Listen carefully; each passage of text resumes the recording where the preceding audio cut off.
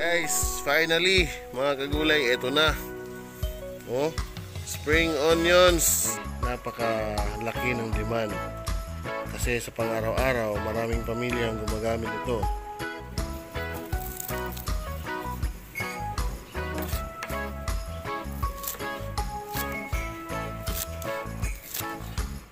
Finishing touch.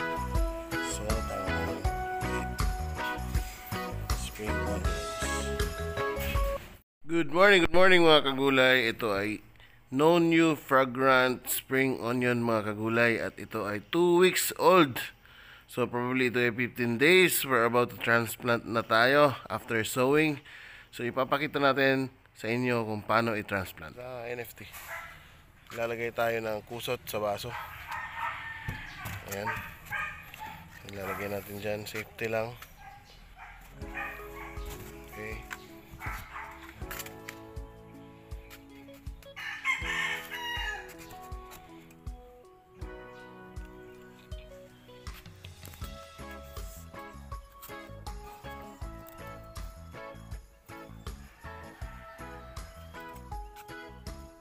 15 days na to, no, Rek? 15 days. 15 days.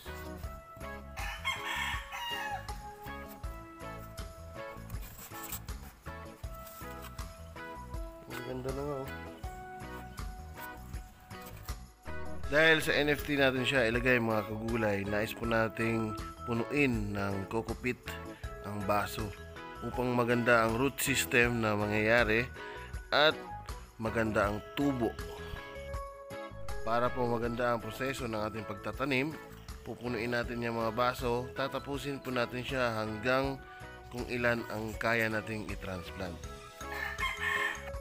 Ito ay disabog lang mga kagulay. Once na disabog lang, tatabunan natin ng manipis na manipis ang ating punla upang tutubo ng mabilis. Sa paglalagay po ng kusot ng baso sa baso, Kainan po lamang na tayo po yung magpatugtog kasi ito ay ah, mahabang proseso na pagsasalin kasi ito kay madami paulit-ulit natin ginagawa. Pang ilang batch na yung baso na yan?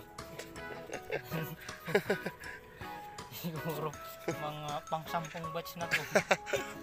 Hindi ba yung pinapalitan? Hindi pa. Maganda pa eh. No? Wala pang wala pang ano, damage. Bagay, kay Tito Riley nga eh. Pang ilang years na yun eh. Matibay yung cup. 2 years na to. Bakit? Anim yung ano, una ko pa tong ginawa eh. Sa 2 years na yan. 2 years na to. Ito yung mga bago lang. Apat. Apat lang. Pero pag yung mga anim, Sa anim at saka sa apat, wala namang pinagkaiba. Ah, walang pinagkaiba. Ang anim mabilis masira. anim. Bakit? Nauputol agad dito. Ah, ang gamit niyan, pagbutas, soldering iron. Pang ano, pang hinang. Sige, kalate.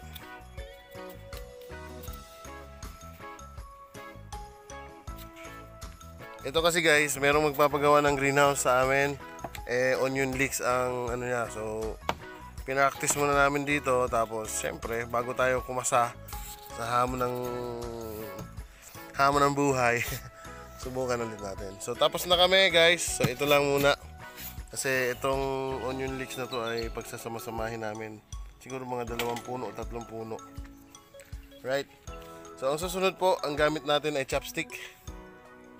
Yan. So, yan. Simpleng-simple lang. Bunutin natin ang bunutin. Tig isa lang ba? Hindi. O tig dalawa? Apat. Dalawa lang. Tatlo siguro. Ayan. Ganyan. Ah, payat lang ano.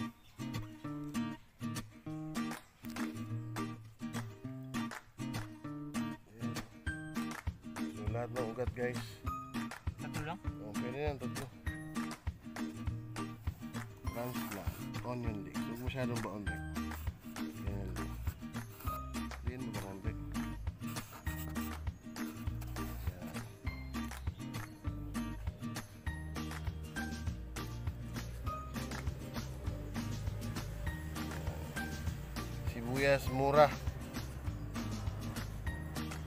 Onion leeks na ano eh. Malalaki. Ewan ko kung anong onion leeks to. Pero siguro hindi ito. Yung malalaki. Merong malalaki yung hinahalo sa ano sa mga ibang putahe din.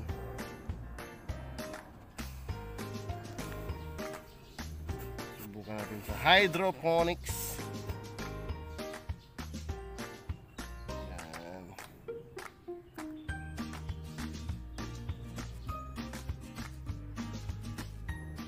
Sa palengke mga kagulay, makakabili ka ng 20, 30, 50. Depende sa kung ilan yung pangangailangan natin sa pang-araw-araw. Pero may amoy na siya, no? Kahit bata ba? Hmm, Meron na. Ito, ito, ito, ito. Ayan. Ayan. Sana mga anak pa siya. Magtesting nga ng isa lang. Baka kasakaling dumami siya. Yan, yan, yan. Hindi naman isa yan, tatlo yan.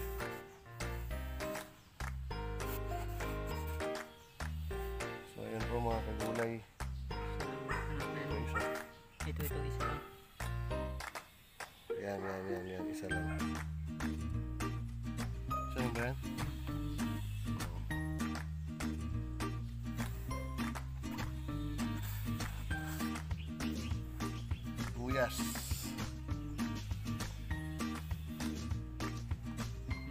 Sisig. Sisig. Mahalo sa sisig pang kilaw. Tinula, no? Tinula na Bisaya. Isda. Isda. Lechon. Ako lang bisayang isda. Lechon. Bisaya na isda. Tinula na Bisaya. Isda ang ano. Sa Tagalog kasi tinula ay ano eh.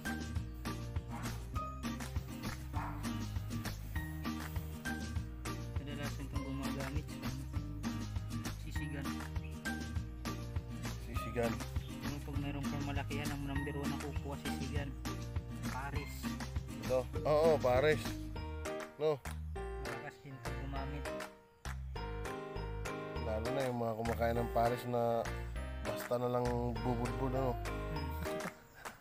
Ay, ta- tatlo yan, tatlo na yan eh.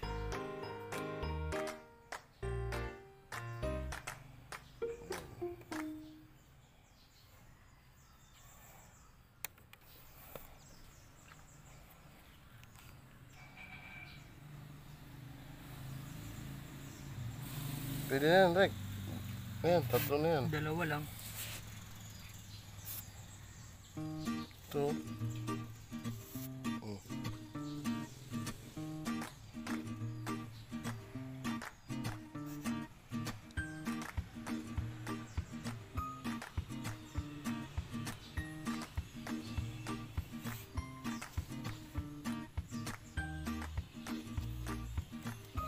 So ganyan lang yan mga kagulay, tuloy-tuloy lang. Guys, finally, mga kagulay, eto na. Oh, spring onions. Spring onions NFT. Ayan oh. Oh, ha? Ayan oh. Ha-harvestin na natin to. Uulamin na natin. Ilalagay na natin sa ah, sahog na gulay. Finally, finally.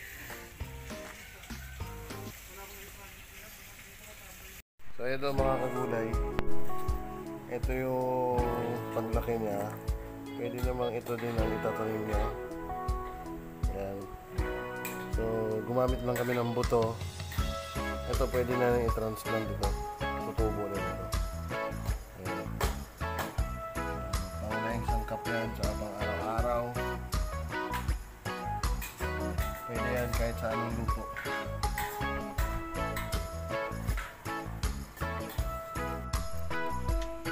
Onion leeks ay napakalaki ng demand. Kasi sa pang-araw-araw, maraming pamilya ang gumagamit ito. Pwede siyang isahog sa anumang luto kahit ano basta ang importante ang padagdag lasa. Sa sabaw kalimitan sa mga nilaga, sa mga pares, sa lugaw, kahit saan makikita mo itong onion leeks. So ito na siya. transplant na natin. Guys, ito, sample lang namin kayo ng luto. Ito ay sotanghon. Ayan. So, itong sangkap nito ay ginagamitan ng onion leeks. So, ito. So,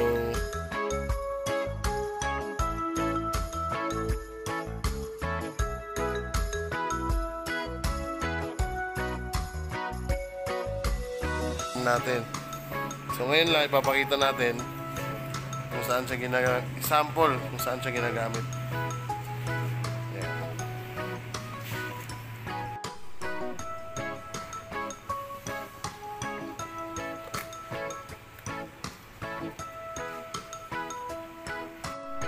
Guys, ito yung sotanghon.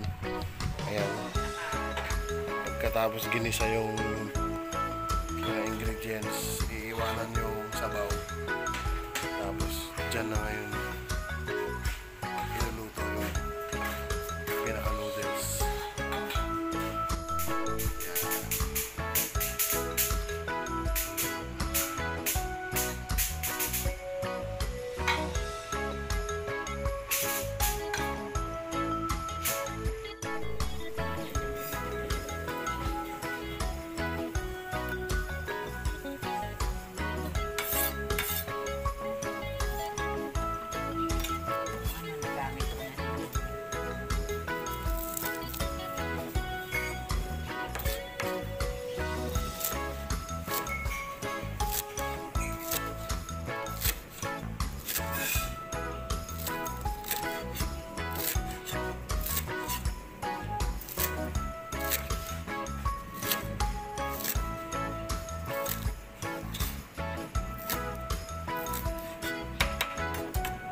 Magkano to sa palengke ma?